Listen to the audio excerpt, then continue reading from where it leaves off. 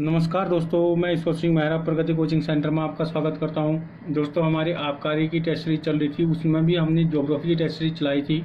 आज उसी को आगे बढ़ाते हुए हमारी उन्नीसवीं टेस्ट सीरीज़ है। आज का पहला क्वेश्चन है, सोनभद्र ज़िले को स्पर्श करती है। जो सोनभद्र जिला है दोस्तों, वो कितने राज्यों को स्पर्श करता है? मतलब कितनी राज्य की सीमाओं को स्पर्श करता है? तो दोस्तों, इसका जो राइट आंसर रहेगा, चार राज्यों की सीमाओं को स्पर्श करता है सोनभद्र जिला, ठीक है? जो सोनभद्र जिला है दोस्तों कौन कौन से जो चार ऐसे जो राज्य है, उनकी सीमा को स्पर्श करता है? नंबर एक छत्तीसगढ़, नंबर दो बिहार, नंबर तीन मध्य प्रदेश और चौथा रहेगा झारखंड। याद रखना, चार राज्यों को की सीमाओं को स्पर्श करता है सोनभद्र और वो रहेंगे छत्तीसगढ़, बिहार, मध्य प्रदेश व झारखंड। अगला क्वेश्चन है इसमें, निम्नलिखित जनजातियों में से कौन सी केरल में पाई जाती है? दोस्तों, जो जनजाति है दोस्तों, जो केरल में पाई जाती है, वो कौन सी रहेगी? चेचू। जो चेचू है दोस्तों, वो कहाँ पे पाई जाती है? केरल में पाई जाती है। इसमें थोड़ा डिटेल ले लेते हैं। जो चेचू है दोस्तों, ये क्या है? केरल में पाई जाती है। इसमें तीन और जनजातियाँ हैं, लेपचा, डफला और डफला और डाफर। ठीक है? हम चेचू की बात कर रहे हैं दोस्तों जो चेचू है दोस्तों वो आंध्र प्रदेश के न, जो नल्ला मलाई क्षेत्र की जो जनजाति है दोस्तों उसको क्या कहा जाता है? चेचू कहा जाता है और यह केरल के भी कुछ भागों में पाई जाती है। जो चेचू है दोस्तों वो आंध्र प्रदेश के नल्ला मलाई क्षेत्र की जनजाति है और ये साथ ही साथ क्या है केरल के कुछ भागों में भी पाई जाती है। और जो लेपचा है दोस्तों जो लेपचा जनजाति है, वो सिक्किम में है, ठीक है, सिक्किम में पाई जाती है। और जो डफला है दोस्तों, गुजरात के सौराष्ट्र क्षेत्र में पाई जाती है। और वहाँ जो डफला है, गुजरात के सौराष्ट्र क्षेत्र में पाई जाती है। और साथ ही साथ डफला जो है, अरुणाचल प्रदेश व असम के कुछ भागों में भी पाई जाती है। अगला क्वेश्चन है इसी में, शहरिया जनजाति के लोग कहाँ के निवासी हैं? शहरिया जनजाति के लोग कहाँ के निवासी हैं? अगर ऐसा क्वेश्चन आ गया, कभी दोस्तों शहरा जनजाति के जो लोग हैं दोस्तों, वो कहाँ के हैं? राजस्थान के निवासी हैं। दोस्तों, इसमें थोड़ा इसकी डिटेल ले लेते हैं। ये एक बार जो है, भूख से मरने जो भूख से, भूखमरी से मरे थे इस जनजाति के लोग, उस समय काफ़ी मामला ये लाइट में आया था। तो जो शहरिया जनजाति है, दोस्तों, वो क्या है? राजस्थान की प्रमुख जनजातियों में से एक है। याद रखना, जो शहरिया जनजाति है, वो राजस्थान के प्रमुख जनजातियों में से एक है। और इसका सर्वाधिक जो जनसंख्या है राजस्थान में, कौन से ज़िले में है?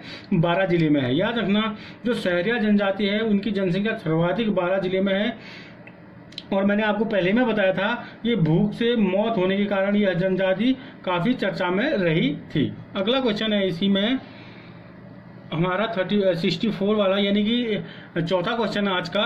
निम्नलिखित में से कौन सी नदी गंगा नदी में बाएँ से नहीं मिलती है? दोस्तों, जो सोन नदी है दोस्तों, वो गंगा नदी से दाएँ तट से मिलती है। ठीक है, याद रखना, जो सोन नदी है, वो गंगा नदी से क्या है, गंगा के दक्षिणी तट पर क्या है, दहने दहने से मिलती है। याद रखना, बाएँ तट की बात कर रहे हैं तो बाएँ तट से जो नहीं मिलेगी, वो सोन नदी रहेगी। अगला क्वेश्चन है दक्षिण भारत की नदियाँ प्रमुख रूप से निम्न में से कौन सा अपवाह तंत्र रखती हैं? दक्षिण भारत की नदियाँ प्रमुख रूप से निम्न में से कौन सा अपवाह तंत्र रखती हैं? ये कौन सा रखेंगी? वृक्ष नुमा। इसका जो राइट आंसर रहेगा दोस्तों, कौन सा रहेगा? वृक्ष नुमा अपवाह तंत्र रखती हैं। याद रखना कौन सा रहेगा? वृक्ष नुमा। अगला क्वेश्चन है, दूध गंगा नदी निम्न में से किसमें अवस्थित है? दूध गंगा नदी निम्न में से किसमें अवस्थित है? जम्मू एंड कश्मीर में स्थित है। याद रखना, जो दूध गंगा नदी है दोस्तों, वो कहाँ पर स्थित है? जम्मू कश्मीर में स्थित है। अगला क्वेश्चन है, निम्नलिखित में से कौन सा एक कृष्णा कौन सी, में से कौन एक कृष्णा की सहायक नदी नहीं है? दोस्तों, इसका जो राइट आंसर रहेगा दोस्तों, जो तेल है दोस्तों, वो कृष्णा की क्या है? सहायक नदी नहीं है। यानी कि जो तेल है दोस्तों, वो किसकी सहायक नदी रहेगी? जो पहले तो ये जान लेते कि कृष्णा की सहायक नदियाँ कौन कौन सी हैं? जो कृष्णा की प्रमुख सहायक नदियाँ हैं दोस्तों कौन कौन सी हैं? कोयना नदी होगी और यरला नदी हो गई, डीना नदी हो गई, वर्ना नदी हो गई पंचगंगा नदी जो है एक, वो भी कृष्णा की सहायक नदी है, और घट प्रभा होगी, और भीमा होगी, और तुंगभद्रा होगी। याद रखना, जो ये भीमा होगी, तुंगभद्रा होगी, और पंचगंगा होगी, ये किसकी है दोस्तों? ये कृष्णा की सहायक नदियाँ हैं, और लेकिन जो तेल नदी है, वो कृष्णा की सहायक नदी नहीं है, लेकिन किसकी सहायक नदी है? ये महानदी की एक प्रमुख सहायक नदी है। याद रखना, जो तेल है दोस्तों, वो किसकी प्रमुख सहायक नदी है? महानदी की एक प्रमुख सहायक नदी है। अगला क्वेश्चन है, निम्न नहरों में से किसे दामोदर नदी से निकाला गया है? एडन, जो नहर है दोस्तों, उसको किससे निकाला गया है? दामोदर नदी से निकाला गया। याद रखना, जो एडन नहर है दोस्तों, वो किससे निकाला गया है? दामोदर नदी से निकाला गया है। इसके बारे में थोड़ी डिटेल ले लेते हैं। जो एडन नहर है दोस्तों, उसको उन्नीस सौ अड़तीस में, याद रखना, जो एडन नहर है, उसको 1938 में दामोदर नदी से निकाली गई एक नहर थी। और इसकी जो लंबाई है दोस्तों कितनी है? पैंसठ किलोमीटर लंबी है और ये लगभग दस हज़ार हेक्टेयर भूमि को सिंचित करती है। याद रखना जो एडन नहर है दोस्तों 1938 में बनाई गई थी। ये दामोदर नदी से निकाली गई एक नहर थी और इसकी जो लंबाई है दोस्तों पैंसठ किलोमीटर की है और ये लगभग दस हज़ार हेक्टेयर भूमि को क्या है? सिंचती है अगला क्वेश्चन है इसी में।